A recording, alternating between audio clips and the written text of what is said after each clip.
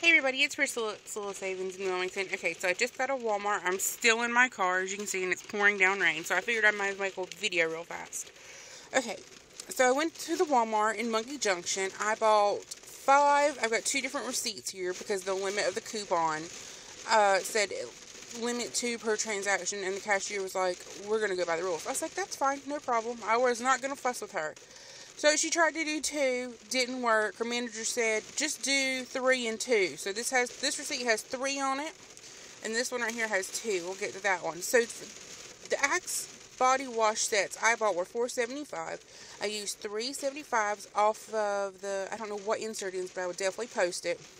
I only paid a quarter. I don't know if you can really see that or not because of the light, but I only paid a quarter, and I thought it would be much more than that, but I'm not arguing with a woman. She looked at me like I was crazy. I was like, okay, here we go.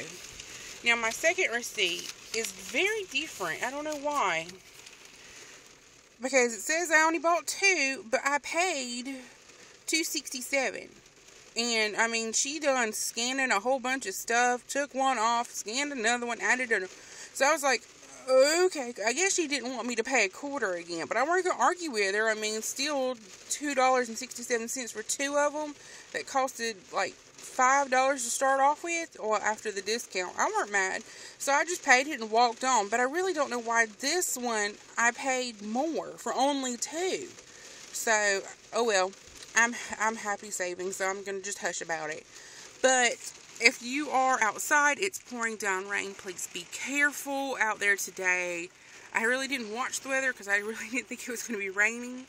But happy couponing, y'all. And please post any shopping that you do at Walmart today because I'd love to see what you get. Happy couponing, y'all.